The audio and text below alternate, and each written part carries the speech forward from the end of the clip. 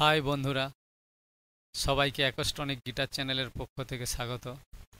আজকে তোমাদের জন্য থাকছে কীভাবে যে কোনো স্কেল থেকে কর্ড তৈরি করা যায়। আমি সি মেজর স্কেল আশা করি সবাই জানে। এই স্কেল দিয়ে কর্ড তৈরি করা দেখাবো। যারা জানো না, আমি ওই ভিডিওর লিংক ডেসক্রিপশানে দিয়ে দেব। তারা দেখে নেবে, তারপরে এই ভিডিওটি দেখলে বুঝতে অনেক সুবিধা হবে। চলো শুরু করা যাক।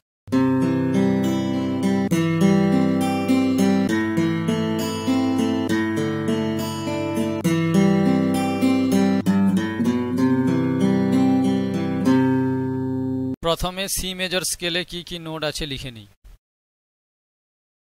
C D E F G A B, C. এবারে যে কোনো স্কেলের কর্ড তৈরি করতে গেলে ওই স্কেলের এক, তিন, পাঁচ এই তিনটে নোট নিয়ে কর্ড তৈরি করা হয়। সেই হিসাবে ই নোট আমরা এইখানে লিখে দেব।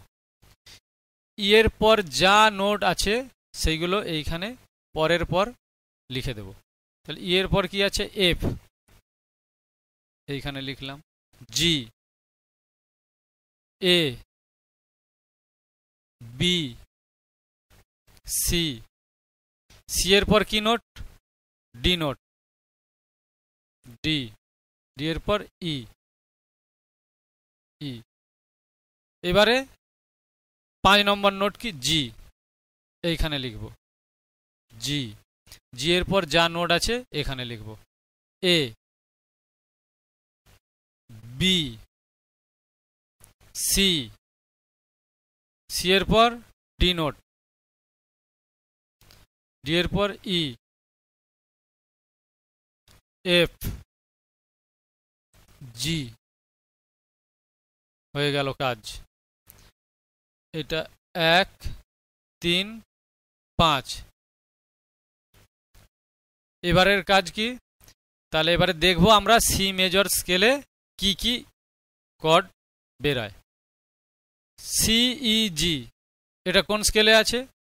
সি মেজর ডিএফএ কোন কডে আছে? D minor E G B E minor F A C F major G B D G major C E